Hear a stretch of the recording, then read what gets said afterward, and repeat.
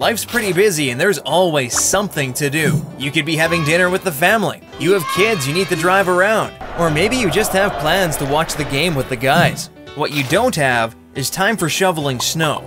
So instead of picking up the shovel, pick up your phone and jump into the snowmower app. Just fill in your info and then follow along as the job gets done. With so many things you want to do, let us do the ones you don't. Snowmower, because life's too busy for chores.